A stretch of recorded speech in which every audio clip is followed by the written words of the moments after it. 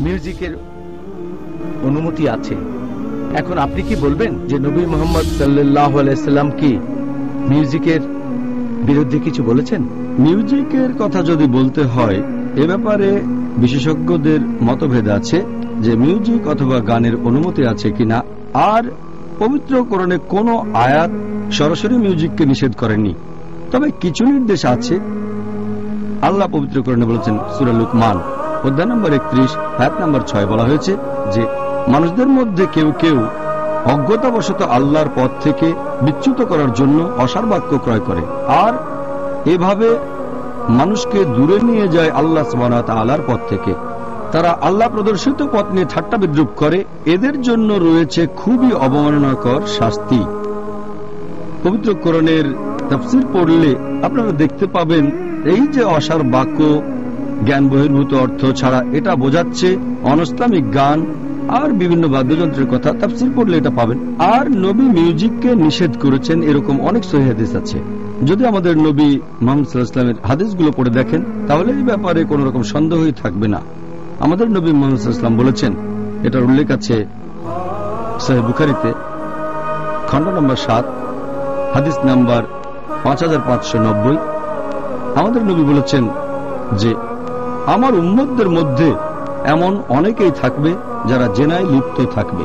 তার মানে ব্যভিচার, অবৈধ যৌনাচার, অনেকে রেশমের কাপড় পরবে, মাদকদ্রব্য সেবন করবে এবং বাদ্যযন্ত্র বাজাবে আর ভাববে, এগুলো বৈধ।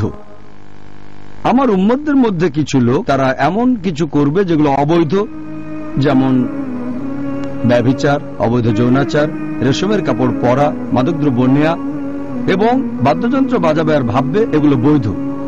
এই হাদিস বলছে, তারা কিছু কাজকে বৈধ মনে করবে। আমরা জানি যে মাদকদ্রব্য হারাম। আমরা ভালো করেই জানি যে ব্যবচার করা হারাম। যেহেতু এখানে মিউজিকের কথা কিছু নিষিদ্ধ জিনিসের সাথে উল্লেখ করা হয়েছে, এখানে বাদ্যযন্ত্রের কথা বলা হয়েছে, এটাই নির্দেশ করে যে নবী এটাকেও নিষেধ করেছেন। তবে কিছু লোক বলে এটা বৈধ।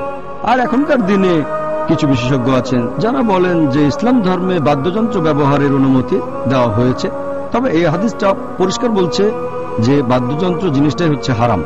আরও কিছু সহি হাদিস আছে, যেখানে কিছু বাদ্যযন্ত্রের ব্যাপারে অনুমতি দেওয়া হয়েছে, বিশেষ করে ধপ, তার মানে তাম্বরি। আমাদের নবী মোহাম্মদ ইসলামের হাদিস পড়লে দেখবেন, সহি বুখারি, খণ্ড নম্বর পাঁচ, হাদিস নম্বর চার হাজার এক, এখানে বলা হয়েছে যে মোহাম্মদ সাল্লাহ ইসলাম একদিন বিয়ে করার পরে বাইরে এসে কথা বলছিলেন সাহাবিগণের সাথে। তখন ছোট ছোট দুটো মেয়ে বাজাচ্ছিল এই ধপ, তার মানে তাম্বুরি, আর তারা গানে গানে সাহাবিগণের প্রশংসা করছে কীভাবে অমুকের বাবা জিহাদ করেছেন। এরপর তারা নবীর প্রশংসা করতে লাগল। নবী বললেন, আমার প্রশংসা করো না, আগে জায়গায় ছিল তাই গাও। তার মানে নবী সাল্লা সাল্লাম তাদের এই তাম্বুরি বা ধপ বাজাতে নিষেধ করেননি। এছাড়া আরেকটা হাদিস আছে সে বুখারিতে খণ্ড নম্বর দুই, হাদিস নাম্বার নয়শো সাতাশি, যে আমাদের নবী একদিন শুয়েছিলেন, এই হাদিসের বর্ণনা দিয়েছেন হজরত আয়েশা রাজি আল্লাহ আনহা। তিনি বলেছেন যে দুটো ছোট মেয়ে তাম্বরি বাজাচ্ছিল আর গান গাচ্ছিল।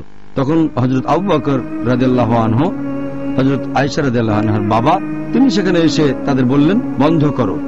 মোহাম্মদ ইসলাম তখন ঘরে শুয়েছিলেন। তিনি আবু বকর রাজি আল্লাহ আনহকে বললেন, গান গাক ওরা।